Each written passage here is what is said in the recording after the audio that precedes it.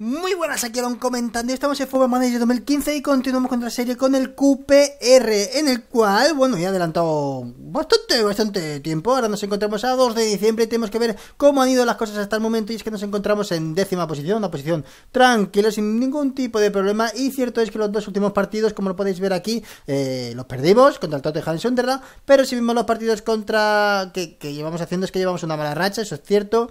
Eh, pero también hemos tenido que jugar contra Manchester City, que perdimos. El Chelsea empatamos 2-2. Oye, no está mal empatar contra el Chelsea.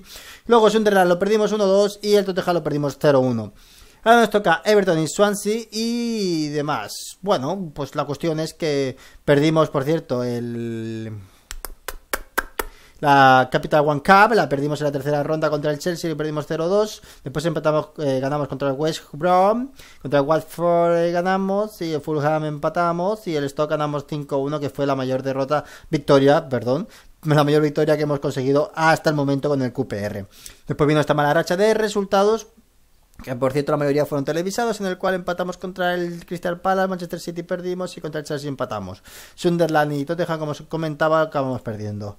Bien, visto esto, vamos a ir un momento a las tácticas y os enseño un poco cómo ha ido la cosa. Eh, las tácticas prácticamente seguimos con la misma táctica que empezamos la primera temporada que dije que iba a probar y que al final, oye, estaba dando bastantes resultados y de momento voy a continuarla porque me gusta bastante. Este, mm, ¿cómo lo llaman aquí? 4-4-2 diamante o en rombo con laterales bastante ofensivos. Nos está yendo bastante bien por el momento y vamos a seguir utilizándolo. Después tenemos el 4-2-3 eh, estrecho en el cual, bueno, no es que lo haya usado mucho, pero sí que me gusta poner este lateral izquierdo muy ofensivo y este de aquí, pues aquí juega Onuoa o juega mm, Mika Richa cuando no está lesionado, o yo que sé, o Sorensen, ¿no? Por ejemplo, eh, en este lateral más defensivo. Luego aquí a Jacolini, pues un jugador más, más ofensivo que Paredes y Sandro. Bueno, está Sandro, pero Sandro no juega aquí, ¿eh? sería más así. ¿Vale? Y después tenemos la táctica del 4-1-2-3 o 4-5-1 o como diablo lo queráis llamar, eh, en el cual, bueno, no tengo, no la he usado aún, aún no he tenido que usarla realmente, no, no, no, no me ha convencido esta de momento, así que la práctica de las que he usado ha sido el 4-2-3-1 de estrecha y el diamante, que es el que por defecto suelo ponerla en todo, en todo momento. Bien, si vamos a ir un momento a la plantilla, vamos... Eh, eh, sí, por cierto, a un Pablo Barrera aún no le consiguió eh, que le den el permiso para que pueda jugar con nosotros. Un jugador que era importante porque en ese lateral derecho o carrilero derecho era donde iba a jugar él. Y pensaba que he tenido dos oportunidades para, para conseguir ese permiso para poder inscribirlo. Pero una me lo rechazaron y la segunda tres cuartos de lo mismo. Así que no he podido hacer nada. Así que bueno, es lo que hay. De momento es, es, es un poco... Es un poco lo que hay. Vale, parece ser que Dortmund está interesado en Sandro. Eh, y te prometo que aceptaré cualquier oferta que hagan siempre y cuando eh, sea, sea el valor que, que, consideremos, ¿no? O sea que si viene el Dortmund que venga, pero que vamos a hablar con ellos primero.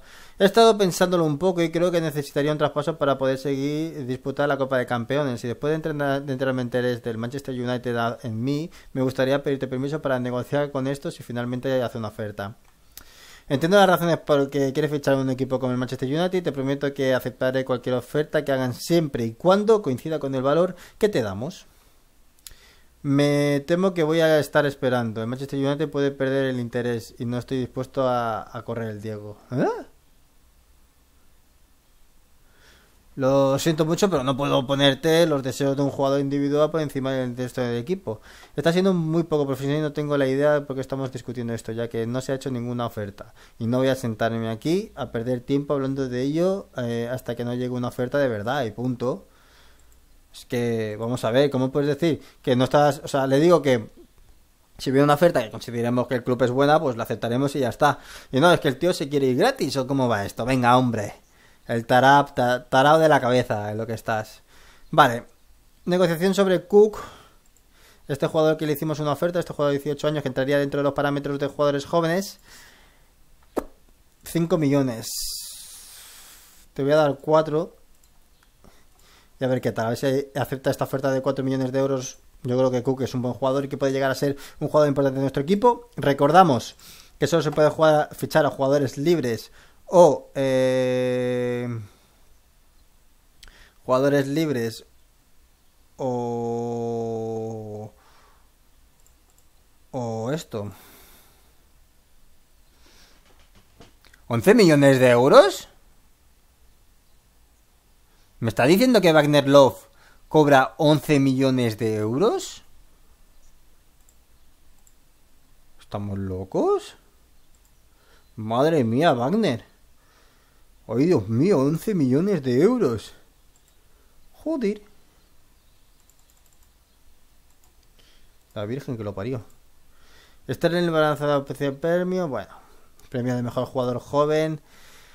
Y ya estamos a punto de jugar nuestro partido contra el Everton, un partido que será bastante, bastante complicado, pero que intentaremos hacer lo mejor posible. Intentaremos eh, esa victoria que tanto esperamos y que todo eh, poco a poco vaya fluyendo.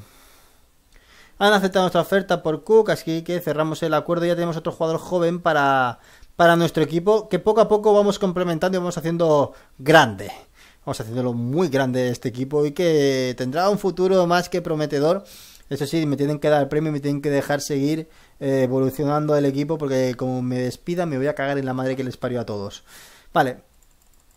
De momento... Eh...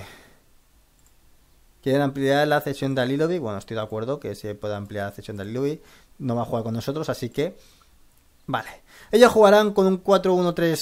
1-4-1-2... 4-1... Bueno, es el 4-5-1. Para mí es un 4-5-1 eso. 4-1-4-1, como diablos le llamen. Nosotros vamos a jugar así. Voy a poner a Fer por match. Keiko. Por match, que no está haciendo una buena temporada match. Mira que la temporada anterior hizo muy buenos partidos. Pero en esta temporada no acaba de destacar. Voy a poner a Bacali y Jacolins y Emagara en la punta de ataque. Forlin puede jugar por Chelemans.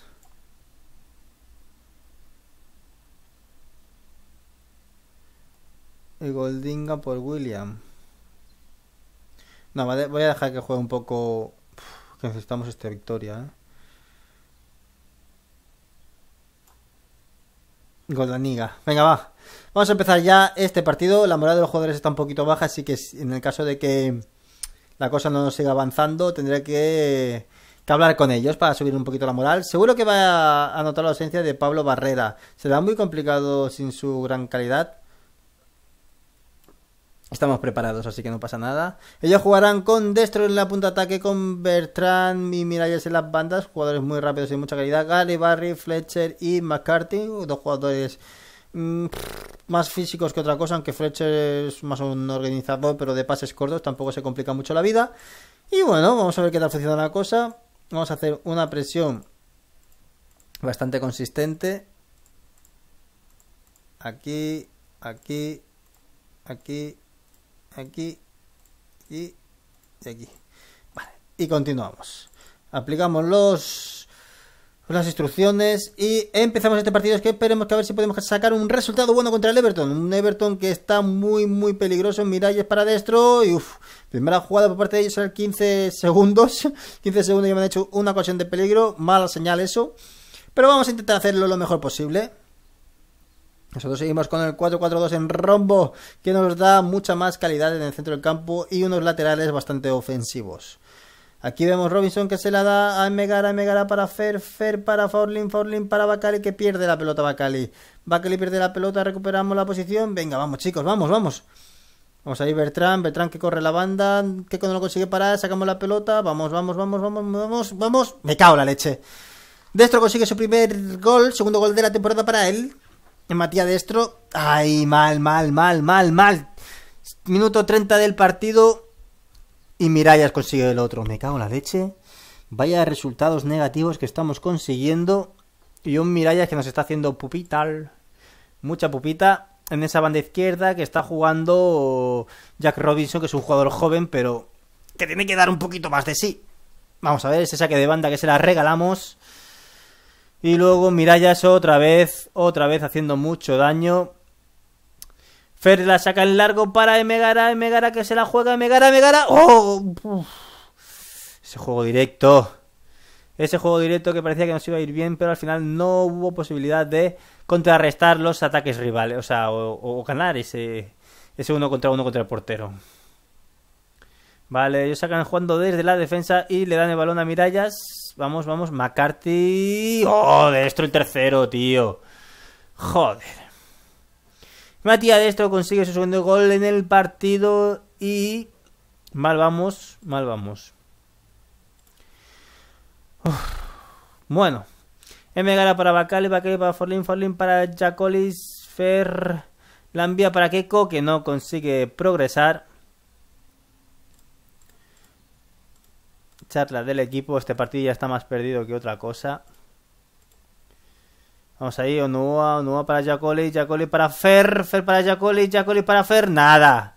No conseguimos rematar, coñe. Robinson, Robinson para Keko, Keko para Bacale, Bacale para Keko, Keko para Jacoli, Jacoli que juega en corto. Ay, buena pared esa. Intentaron progresar, pero al final no hubo manera. Robinson para Fer, Fer para Faurlin, Faurlin pierde la pelota y Onua recupera ahí con tranquilidad. La envía largo para Megara. Faulín, Faulín para Jacolis, Jacolis se va, remata Jacolis, vaya golazo de Jacolis, este joven jugador que se está convirtiendo en un, bueno, un buen delantero, ¿eh? al final esto lo ha hecho él, se fue de un jugador por ahí y desde fuera del área, justo desde fuera del área mete un golazo por la escuadra que nos pone 3-1 en el resultado y en el marcador. Cuidado con Mirallas y uff, dio en el palo creo, ¿no? Si no me equivoco, se ve un poquito regular, pero creo que dio en el larguero esa pelota. Vale, sacamos limpia. Vamos a parar esto. Eh, charla del equipo. No hemos parado, ¿no? Eh, charla del equipo. ¿No puedo hacer comentarios? Vaya por Dios. Eh, tácticas. Tácticas. Tácticas, tácticas. Bacali se va a ir. Para entrar a ver Tarap. Uh, Leroy Fer por Yuri Telemans. Faurlin aquí y Telemans en esta posición. Vale, pues Tarap y Telemans van a entrar en el terreno de juego. Y veremos si ellos hacen alguna cosita más. Si conseguimos alguna jugada más de ataque. Aunque no tiene mucha pinta esto, ¿eh? No tiene mucha pinta. Baines para Barry. McCready. Destro. Baines. Que prácticamente se han puesto a jugar la pelota. Uf. Otro gol de Destro. Vuelve a rematar solo. Ay.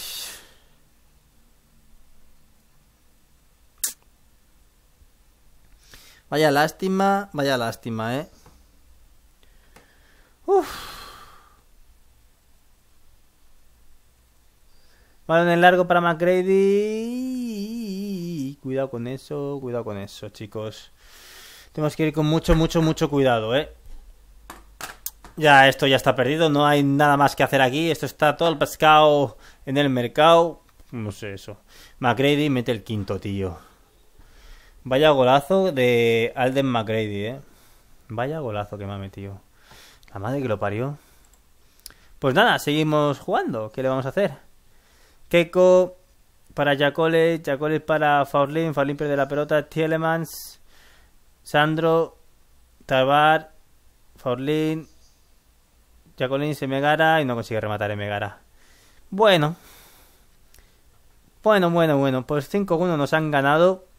Un Everton que con los tres delante nos han hecho picadillo. Y bajamos en la posición, nos encontramos en doceava posición. Ay, ay, ay, ay, ay, ay. Que se nos pone chunguita la cosa, eh.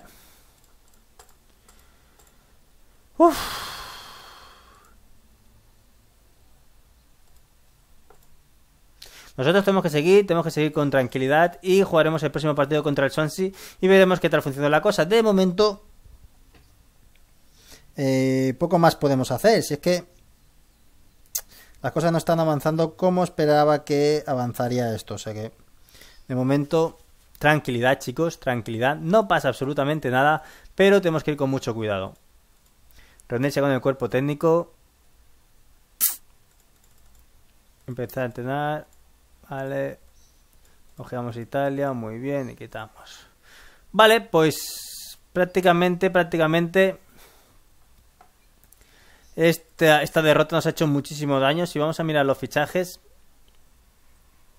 vendrán eh, este portero, que yo lo fiché con 18 años, pero acaba de cumplir 19, así que ¿qué le vamos a hacer? Esto no es mi culpa, así que vendrá este portero por 165.000 euros. Lewis Cook, que vendrá por 4,6 millones de euros.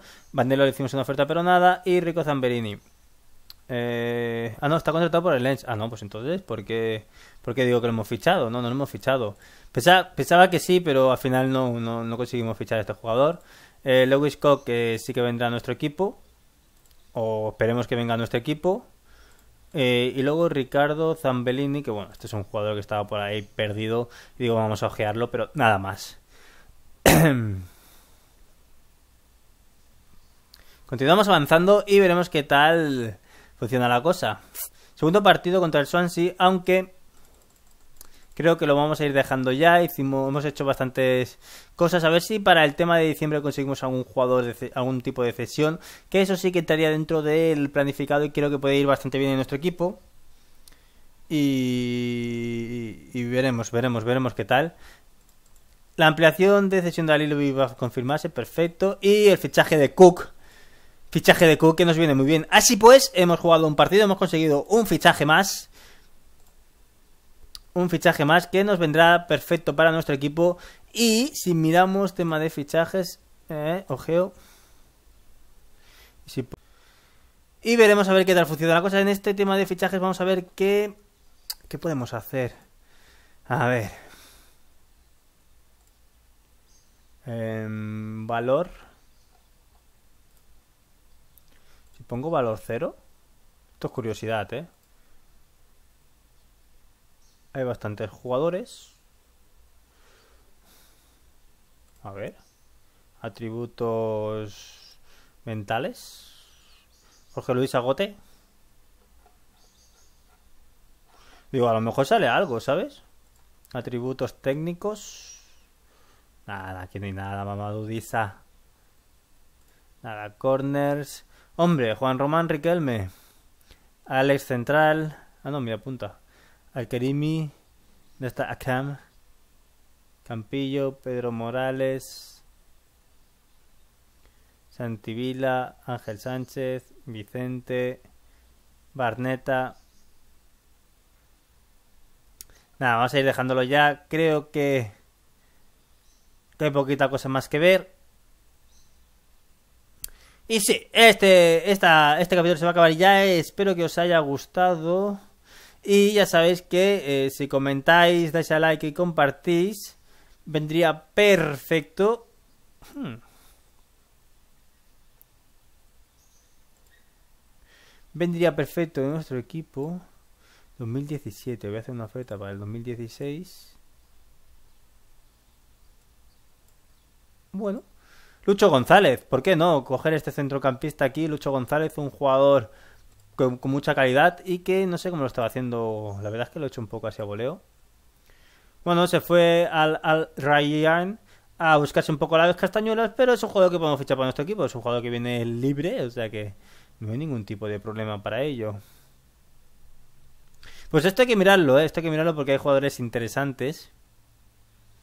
Y veremos a ver si se puede sacar rendimiento de alguno de ellos. Así que me pasaré el rato viendo y si hay algún tipo de fichaje lo comentaremos en el vídeo siguiente.